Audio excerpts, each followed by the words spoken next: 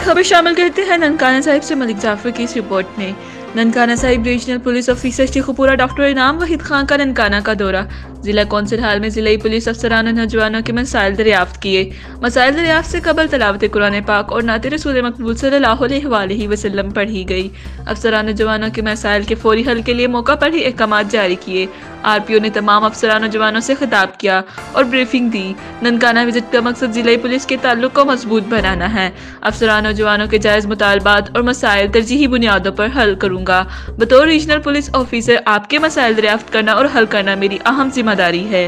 दौरान ड्यूटी ईमानदारी, नेक नीयती, मुस्बत रवैया और हुसन अखलाक को यकीनी बनाएँ। महकमा के मसाली किरदार के लिए पुलिस का मुस्बत रवैया यकीनी बनाना हम सब की ज़िम्मेदारी है।